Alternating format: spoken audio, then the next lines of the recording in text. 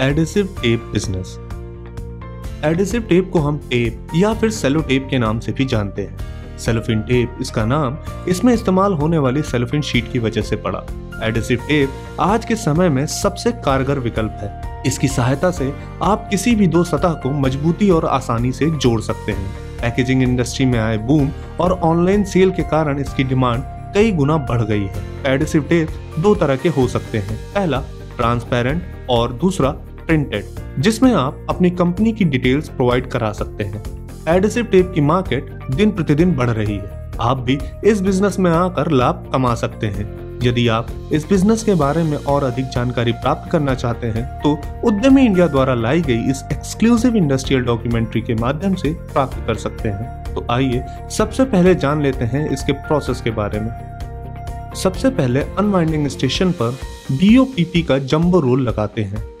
यहाँ से BOPP sheet gaming station की तरफ़ जाती है। गमिंग स्टेशन पर रिक्वायरमेंट के अकॉर्डिंग गम को पिगमेंट कलर करके पहले से तैयार रखते हैं।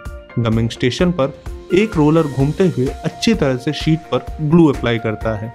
इसके बाद मेयर बार से एक्स्ट्रा ग्लू की कटिंग हो जाती है। जितने माइक्रोन की टेप रिक्वायर्ड होती है, उस हिसाब से ग्लू की कटिंग कर सकते हैं। इसके बाद ग्लू की हुई शीट्स हॉट एयर चैम्बर में जाती है। जहाँ ग्लू में मौजूद एक्स्ट्रा मॉइस्चर को सुखा दिया जाता है। अच्छी तरह से सूखने के बाद ये शीट रिवाइंडिंग स्टेशन पर आ जाती है। यहाँ ग्लू और ड्राई शीट को जंबो साइज़ में रोल कर लिया जाता है।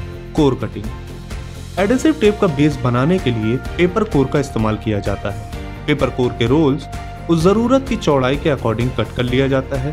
कोर कटिंग मशीन पेपर को रिक्वायर्ड साइज़ के हिसाब से काट देती है।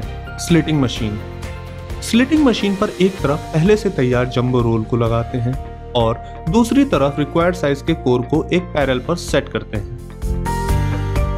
स्लिटिंग मशीन से जंबो रोल रिक्वायर्ड साइज़ के हिसाब से कट हो जाता है और डिजायर्ड साइज़ के छोटे छोटे रोल्स में कलेक्ट हो जाता है। स्लिटिंग मशीन के पैनल पर आप रोल किए जाने वाले टेप की लंबाई को भी सेट कर सकते हैं। एडिसिव टेप के रोल तैयार है। इसे श्रिंक फ़िल्म में लॉक करके, कार्टन में पैक करके मार्केट में सप्लाई किया जा सकता है।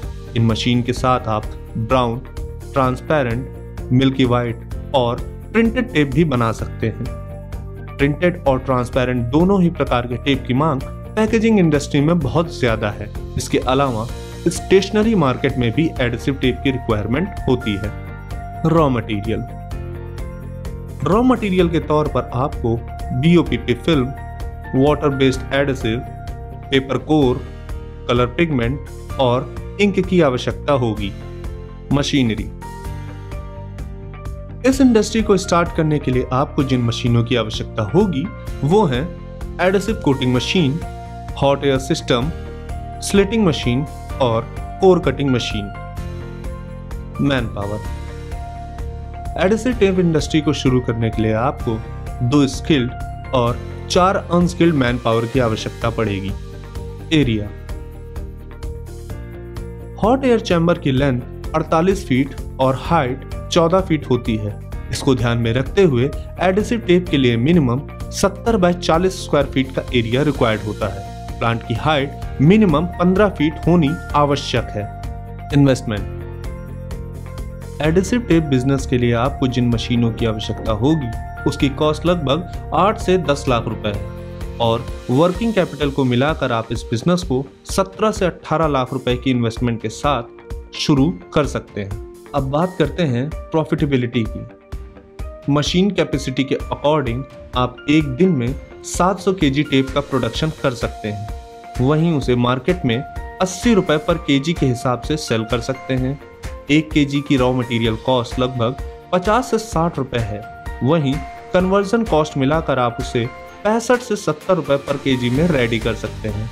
इस अकॉर्डिंग आप एक दिन में सात हज़ार रुपए से लेकर दस हज़ार रुपए तक का मुनाफा कमा सकते हैं। नए नए बिज़नेस आइडियाज़ के लिए आप हमारे चैनल उद्यमी इंडिया को सब्सक्राइब कर सकते हैं। लेटेस्ट अपडेट के लिए डाउनलोड करें हमारे उद्यमी ऐप को और ज़्यादा जानकारी के लिए विज़िट करें हमारी वेबसाइट www.uddami.org.in पर। आपके बिज़नेस रिलेटेड सवालों के लिए आप हमारे call centre seven five two six triple zero triple three seven five two six triple zero triple five पर कॉल कर सकते हैं।